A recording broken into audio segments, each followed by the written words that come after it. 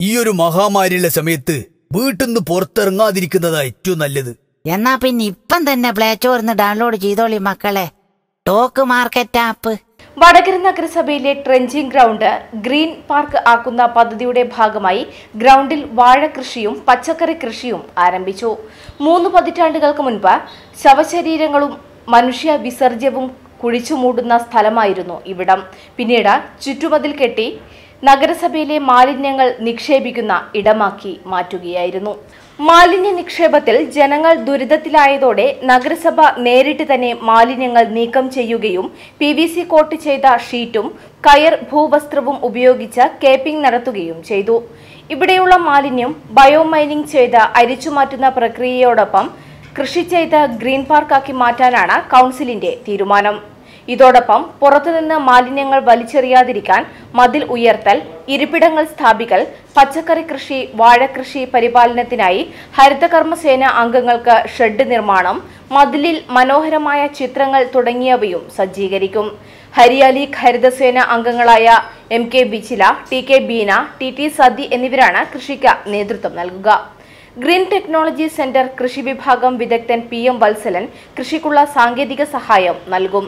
വാഴകൃഷി പച്ചക്കറി കൃഷി എന്നിവയുടെ നടിയിൽ ഉദ്ഘാടനം നഗരസഭാ ചെയർമാൻ കെ ശ്രീധരൻ നിർവഹിച്ചു. വാർഡ് കൌൺസിലർ എ കുഞ്ഞിരാമൻ അധ്യക്ഷത വഹിച്ചു. ഇ അരവിന്ദാക്ഷൻ പി ഗീത മണലിൽ മോഹനൻ ആർ എസ് റിജേഷ് എന്നിവരും പങ്കെടുത്തു. വടകര മുനിസിപ്പാലിറ്റിയിലെ പുതിയാപ്പിലുള്ള ട്രഞ്ചിങ് ഗ്രൗണ്ട്.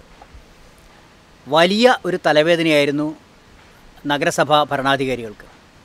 എല്ലാ കാലവും സമരവും പ്രക്ഷോഭവും തടയലും ഖരാവും ഒക്കെ നടന്നൊരു സ്ഥലമായിരുന്നു.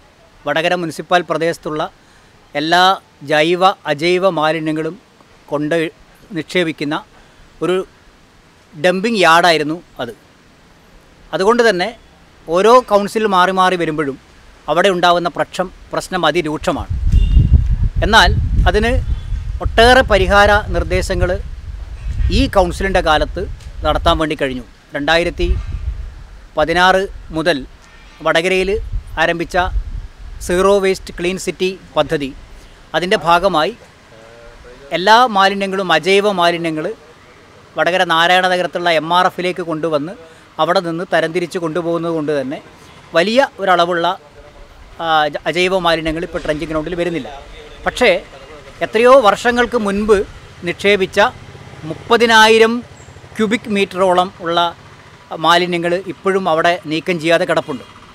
അതുകൊണ്ട് അത് ബയോ മൈനിങ് ഉപയോഗിച്ച് നീക്കം ചെയ്യാനും. ബയോ മൈനിങ് എന്ന് പറഞ്ഞു കഴിഞ്ഞാൽ നിലവിലുള്ള ജൈവ അജൈവ മാലിന്യങ്ങൾ വേർതിരിച്ച് ഒരു റൊട്ടേറ്റ് ചെയ്യുന്ന ഒരു ഡ്രമ്മിലൂടെ അരിച്ചെടുത്ത് അതിലുള്ള പ്ലാസ്റ്റിക്കുകൾ വേറെയും മറ്റേ ജൈവ വളമാക്കി മാറ്റുന്ന പിന്നെ മാലിന്യങ്ങൾ വേറെയാക്കി തരംതിരിക്കുന്ന പരിപാടിയാണ്. അങ്ങനെ ബയോ മൈനിങ് നടത്താനും അതോടൊപ്പം തന്നെ അവിടെ ഇനി വരുന്ന മാലിന്യങ്ങളും ഇപ്പോഴുള്ള മാലിന്യങ്ങളും അത് അവിടെ നിന്ന് ഒഴിവാക്കാനൊക്കെ വേണ്ടി ഹരിയാലി ഹരിത കർമ്മസേനയുടെ സ്ഥിരം വനിതകൾ അവിടെ നിൽക്കാൻ വേണ്ടി അവിടെ ഒരു ഷെഡ് പണിയുകയും ആളുകൾക്ക് പൊതുജനങ്ങൾക്ക് ഈ ട്രഞ്ച് ഗ്രൗണ്ടിനകത്ത് വന്ന് ഇരിക്കാനുള്ള ബെഞ്ച് സ്ഥാപിക്കുകയും ആ മതിലുകൾ ഒന്ന് ഒത്തിരി കൂടെ ഉയർത്തി പുറത്തുനിന്നുള്ള മാലിന്യങ്ങൾ അകത്തേക്ക് വലിച്ചെറിയുന്നത് ഒഴിവാക്കുന്നതിനും അതുപോലെ പുറത്തുള്ള മതിലിന്റെ ചുറ്റുപാടും പ്ലാസ്റ്റർ ചെയ്ത് മനോഹരമാക്കി മുഴുവൻ പ്രദേശങ്ങളിലും ചിത്രങ്ങൾ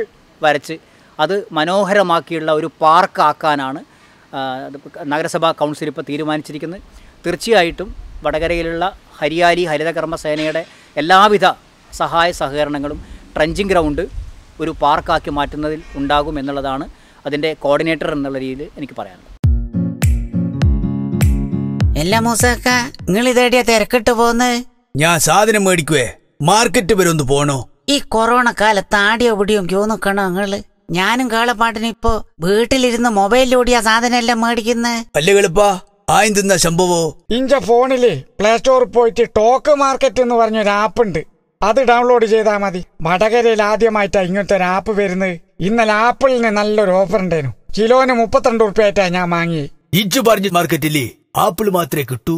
ഫ്രൂട്ട്സും പച്ചക്കറികളും ഇറച്ചും മീനും എല്ലാം കിട്ടും. വളരെ വില കുറവിൽ ഫ്രീയായിട്ട് സാധനങ്ങൾ പൊരയിലെത്തിച്ചേരുമ്പോ നമ്മളെന്തിനാ നേരിട്ട് പോന്ന്? ഈ ഒരു മഹാമാരിയുടെ സമയത്ത് വീട്ടിൽ നിന്ന് പുറത്തിറങ്ങാതിരിക്കുന്നതാ ഏറ്റവും നല്ലത്. എന്നാ പിന്നെ ഇപ്പം തന്നെ പ്ലേ സ്റ്റോറിന്ന് ഡൗൺലോഡ് ചെയ്തോളി മക്കളെ. Talk market app.